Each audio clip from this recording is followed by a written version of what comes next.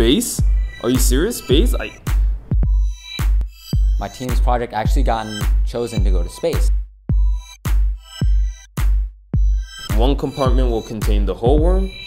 The next compartment would contain two worms. We get to decide which days the astronauts interact with the, with the projects and they're going to release the fixative which will stop growth of the worms while it's in space. You have to consider the fact of plane tickets, a round trip, which is around, let's say, $400. And there are 15 students. We don't have what the microscope that we really wanted. We wanted a, a dissecting microscope with a camera on it. We're asking 10,000 for now. We're in a time crunch.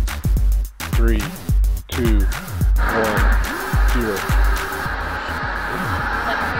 Got liftoff. Falcon 9. Dragon ascends first stage acceleration.